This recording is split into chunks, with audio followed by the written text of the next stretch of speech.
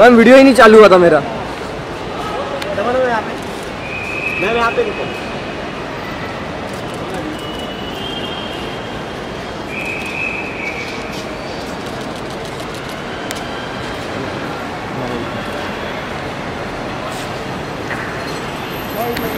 ma'am ma'am आपसे कुछ